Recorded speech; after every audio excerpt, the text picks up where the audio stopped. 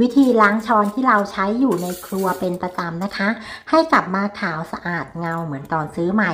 เรามีเคล็ดลับง่าย ๆ ค่ะ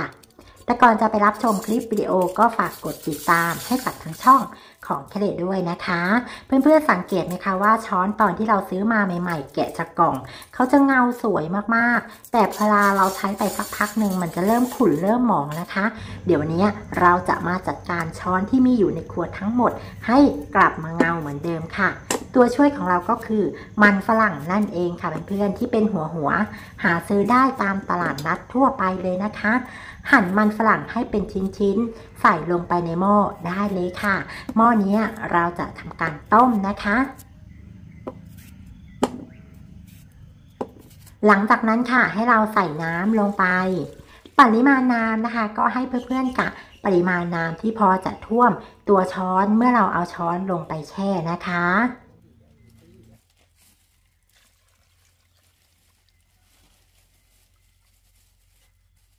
หลังจากที่เราใส่น้ำเสร็จเรียบร้อยแล้ว เดี๋ยวเราก็นำไปตั้งแก๊สให้น้ำเดือดได้เลยค่ะ เมื่อน้ำเขาเดือดแบบนี้นะคะ ก็ให้เพื่อนๆทำการปิดไฟ เมื่อเราปิดไฟแล้วก็ใส่ช้อนที่เราเตรียมไว้ ช้อนที่แค่เลมีอยู่ในครัวทุกทันนะคะ วันนี้ขนออกมาล้างทั้งหมดเลยค่ะเราจะทำการแช่ไว้แบบนี้นะคะ เพื่อนๆ ทั้งหมด 1 ชั่วโมงค่ะ มันฝรั่งเนี่ยเขามีคุณสมบัติช่วยให้สแตนเลสมีความเงา นอกจากช้อนแล้วยังใช้กับสแตนเลสอย่างอื่นได้ด้วยนะคะ เมื่อครบเวลาหนึ่งชั่วโมงค่ะ ก็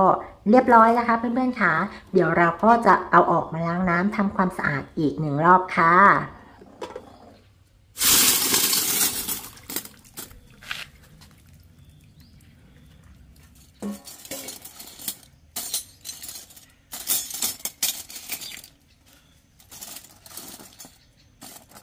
จากนั้นค่ะก็ให้เราทำการล้างช้อนด้วยสไลด์ปกติเหมือนที่เราล้างทุกวันได้เลยนะคะ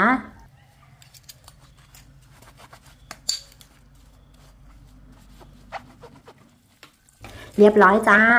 ล้างช้อนทำความสะอาดอีกหนึ่งครั้งนะคะ